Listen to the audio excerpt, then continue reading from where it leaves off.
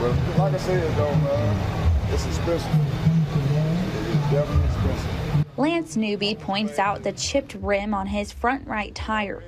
It was like two potholes, a, a big one and a little one. This is what happened when I hit the little one. It wasn't even the big one. I ain't no telling what would have happened if I hit the bigger pothole. Newby's not alone in his frustrations. A recent study done by TRIP, a national transportation research nonprofit, shows 7% of major roadways in Lexington are rated in poor condition, 13% are rated in mediocre condition.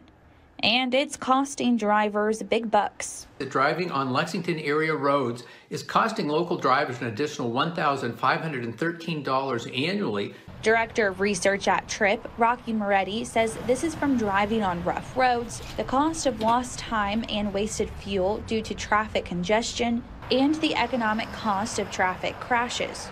But drivers' losses don't end there. With the average driver losing 35 hours annually and wasting an additional 17 gallons of fuel due to traffic congestion.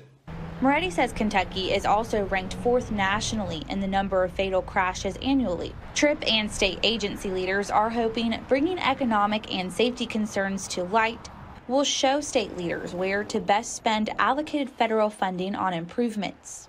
So Newby and other drivers won't lose any more money. Yeah, especially on the highway, like I was saying, because somebody gonna hit a pothole and they're gonna it's gonna be a hassle.